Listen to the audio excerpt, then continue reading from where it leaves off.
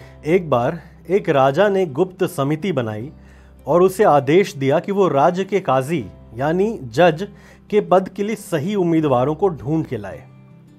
जब ये बात मुल्ला नसरुद्दीन को पता चली तो उन्होंने ये आदत बना ली कि वो कहीं भी जाते तो कंधे पर एक पुराना मछली पकड़ने वाला जाल लाद कर जाते। जब समिति के सदस्य मुल्ला के गाँव पहुँचे तो मुल्ला की इस हरकत ने उनका ध्यान अपनी ओर खींचा। उन्होंने मुल्ला से इसका कारण पूछा तो नसरुद्दीन ने बताया, मैं इसे अपने साथ इसलिए रखता हूँ ताकि मुझे अपने मुश्किल के दिन हमेशा याद रहें, जब मैं गरीब मछुआरा हुआ करता था और मुझे कभी अपनी तरक्की पर घमंड ना हो जाए।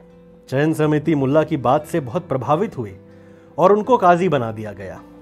कुछ दिनों बाद जब समिति के सदस्य दोबारा नसरुद्दीन से मिले तो उन्होंने देखा कि उनके कंधे पर वो पुराना मछली पकड़ने वाला जाल नहीं था। तुम्हारा जाल कहाँ गया नसरुद्दीन? उन्होंने पूछा। मुल्ला ने जवाब दिया, जब एक बार मछली फंस जाए तो फिर जाल की क्या ज़रूरत?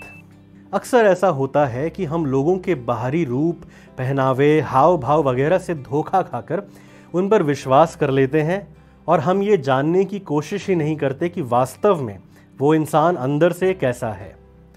चालाक लोग ये जानते हैं कि क्या बोलकर आपसे काम निकाला जा सकता है और वो आपसे वही कहते हैं जो आप सुनना चाहते हैं। आमतौर पर होशियार लड़के, लड़कियों का पहनावा या उनका बात व्यवहार ऐसा होता है जिससे वो आपको आसानी से प्रभावित कर सकें और आप उनको अपने जीवन साथी के रूप में चुन लें। इंटरव्यू में भी लोग अक्सर इंटरव्यू लेने वाले के मन लायक ही जवाब देते हैं। चुनाव के दौरान ज़्यादातर उम्मीदवार सादगी और ईमानदारी का ढोंग रच के अधिक से अधिक वोट बटोरने की कोशिश किया करते हैं। व्यापारी भी आपकी पसंद, आपकी खर्चने की क्षमता का अनुमान लगाकर ही आपको कुछ बेचता है। लोगों के बाहरी रूप और व्यवहार से मंत्रमुग्ध होकर धोखा ना खाएँ। उन्हें गहराई से जानने के बाद ही उन पर विश्वास करें।